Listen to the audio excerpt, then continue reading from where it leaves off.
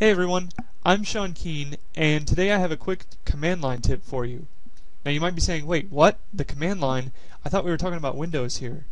Well, actually, the command line is a very powerful way to interact with your Windows computer and accomplish some quick tasks that would otherwise require a specialized app or hours of manual work. So today's just a small example that I run into quite often and requires no complex hacker skills to use. So here's the setup. Every once in a while, uh, typically once a week or so, I have a need to combine some records from some system into a single source file so that I can quickly generate a report or a pivot table, some kind of trending or analysis, and these are so varied and unpredictable that creating a database or import steps or even an Excel macro to parse the files wouldn't really be worth the effort. But tediously combining a month worth of data exports into a single table would take forever and likewise would not be worth the effort. So the command line comes to the rescue here. Uh, there is a command that you can run called copy, and it's typically used to, you guessed it, make a copy of a file but you can actually trick it into combining many files into one single by specifying one destination but multiple sources. And to do that, we just use a wildcard. So let's take a look.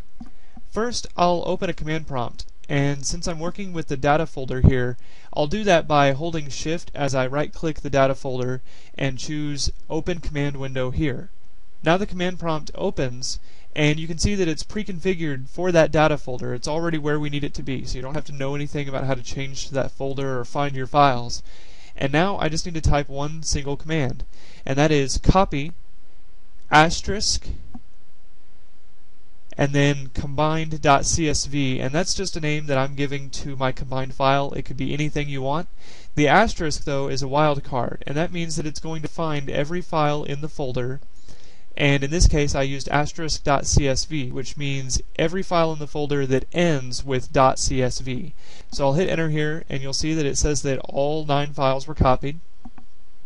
And when I open up my combined.csv file, you'll see in Excel it's got the data from every single separate file now all in one spreadsheet. Perfect. No copying and pasting, no worrying about opening all these files one at a time. All I need to do is use the auto filter to turn off the extra header rows that were imported. Not necessary if your data didn't have headers, but this way I can filter it out, make one single copy and paste job, and now I'm ready to pivot my data, analyze it, look at trends, whatever I need to do without any tedious work. So there you have it. That's how to combine data from many files into one single source and hopefully save you quite a bit of time in the process. I'm Sean Keene, and keep watching for more great tips and check out my website at skeene.net.